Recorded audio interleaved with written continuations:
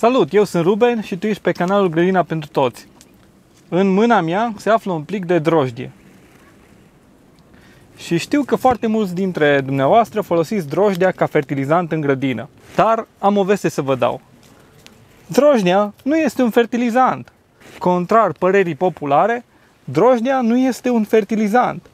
Drojdia nu are azot, nu are potasiu, nu are fosfor, deci, prin urmare, nu este un fertilizant. Dar tu mai putea întreba, dar Ruben, eu folosesc de ani de zile drojdie în grădină, la fertilizarea roșilor, tomatelor, vinetelor. De ce merg așa de bine toate dacă folosesc drojdie?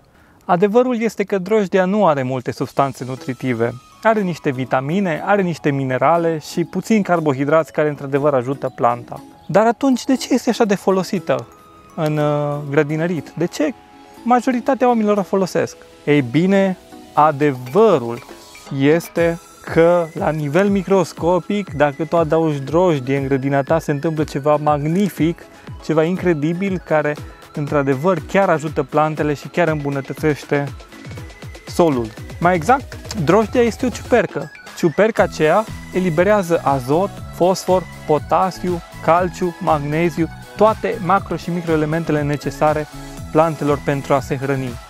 Mai exact, plantele noastre nu pot pur și simplu să absorbă aceste uh, micro și macroelemente dacă nu cumva sunt înainte pregătite, digerate de către niște microorganisme, niște ciuperci. În drojdie există o ciupercă, se numește Saccharomyces cerevisiae și această ciupercă va descompune micro și macroelementele pentru ca plantele dumneavoastră să se hrănească pe îndestulate. Așa că dumneavoastră dacă aplicați orice alt fertilizant și aplicați și drojdie, cu siguranță plantele se vor hrăni. În următoarele imagini vă arăt cum se prepară o soluție pe bază de drojdie, dar nu numai atât, o să vă, pre- o să vă arăt încă două soluții pe lângă soluția pe bază de drojdie, mai bune, care îți vor transforma grădina într-o mașină de produs legume și fructe. Dar înainte nu am cum să nu vă arăt aceste gâsculițe care toată ziua sunt după mine, absolut toată ziua. Și tocmai au devenit cei mai buni prieteni ai mei acești boboși de gâscă. Mai devreme au fost în solar, efectiv vin peste tot după mine. Și crede-mă, cred că a fost una dintre cele mai bune decizii ca să scot acești boboci de gâscă la incubator. Începem cu rețeta, avem nevoie de două plicuri de drojdie uscată, fiecare plic conține 7 grame, deci în total sunt 14 grame de drojdie uscată. Avem pregătiți 50 de ml de apă. Atenție, apa trebuie să fie fără clor. Deci poate să fie apă de la robinet, dacă care a stat 24 de ore încât a ieșit clorul din ea, poate să fie apă de ploaie sau poate să fie apă de fântână. Eu personal am apă de fântână.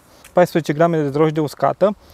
Puteți să folosiți și drojdie umedă din aceea la cub.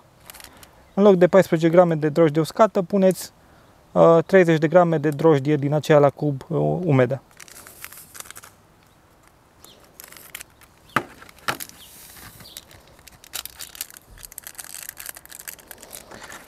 După ce am pus drojdia, venim cu 100 de grame de zahăr sau 5 linguri din acestea. E același lucru. Una, două, trei, patru, cinci. Amestecăm soluția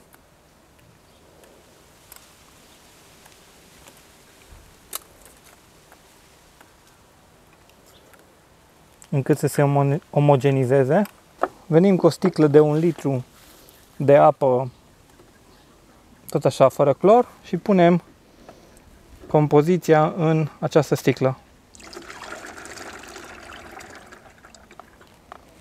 V-ați putea întreba oare de ce am pus zahăr? Am pus zahăr fiindcă drojdia se hrănește cu zaharuri. Practic, drojdia se hrănește cu zaharuri, creând uh, dioxid de carbon și alcool. Ehm, dar nu vom aștepta așa de mult încât să creeze alcool. Ce se întâmplă acum? Uh, drojdia se hrănește cu zahărul din compoziție și se va multiplica foarte mult, se va înmulți. Agităm bine soluția nou creată.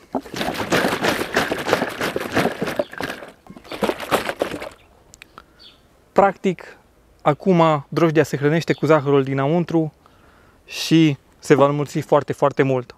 O lăsăm două ore să stea pentru a se înmulți și apoi o să revenim. După ce am așteptat două ore, am umplut o găleată cu 5 litri de apă, tot de la fântână, fără clor, și vin cu soluția aceasta de drojdie, care, drojdia care s-a înmulțit consumând zaharurile din, din compoziție și o adaug aici în, în această găleată peste cei 5 litri de apă.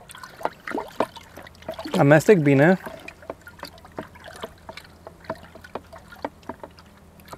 Vin cu găleata, am așa o, o licică cu coadă. Asta are aproximativ 500 de 500 de mililitri capacitate. Nu e, nevo- nu e nevoie de așa multă soluție per plantă. În jur de 200-300 de mililitri per plantă e voie să punem, așa că eu să pun în o licică asta cam jumate. Deci cam așa, cam jumate. Și aplic la fiecare plantă. În cazul ăsta la roșii.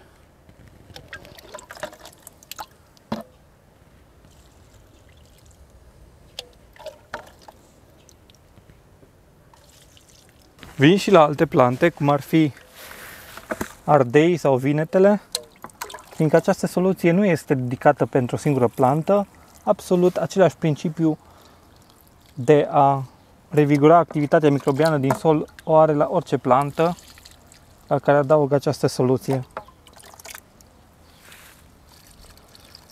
Practic, acum ce se va întâmpla? Microorganismele, mai exact drojdia, va descompune și va elibera din sol azot, fosfor, potasiu pentru a fi disponibile pentru plantele noastre.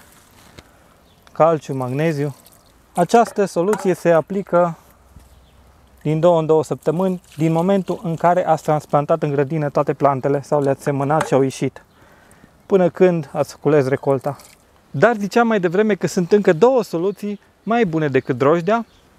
Trecem la următoarea soluție care este mai bună decât drojdea. Maiaua, maiaua naturală. Maiaua naturală practic este tot o drojdie, dar o drojdie obținută natural, care are mai multe tipuri de microorganisme decât uh, drojdia simplă. Dacă drojdia simplă are un singur tip de microorganism, Saccharomyces cerevisiae, maiaua naturală, obținută în mod natural, are cel puțin 20 de tipuri de microorganisme în structura ei. Pe lângă Saccharomyces cerevisiae, maiaua naturală are alte multe alte microorganisme benefice, cum ar fi Candida milleri sau Candida humilis și multe altele. Așa că maiaua este o alegere mult mai bună. Asta e maiaua pe care noi o folosim să facem pâine, să facem pâine naturală acasă.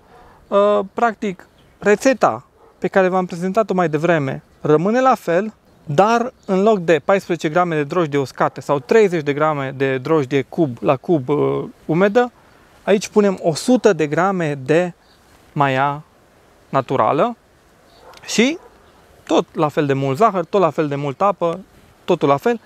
Timpul de așteptare, în loc de 2 ore pentru drojdie naturală normală, la maia ar fi 24 de ore va trebui să așteptați până microorganismele din maia își încep activitatea și consumă zaharurile și se înmulțesc foarte mult pentru a fi utilizat în grădină. E bine, maia naturală se poate obține uh, prin, uh, pur și simplu, prin uh, un proces destul de simplu, dar care necesită multă, drept, uh, multă răbdare, efectiv din grâu, din grâu simplu, uh, tot, tot scoțând din făină și adăugând alta proaspătă și lăsând uh, uh făina uh, uh, care a prins deja microorganisme, în vreo săptămână puteți să obțineți mai proaspătă.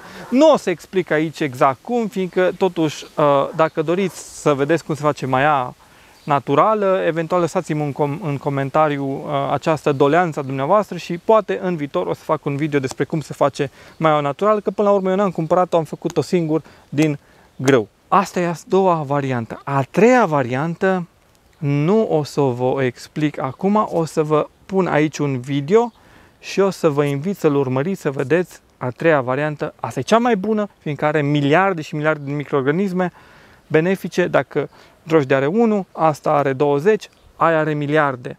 soluția de microorganisme benefice. Dă un like, ne vedem data viitoare dacă ți-a plăcut acest video. Ciao!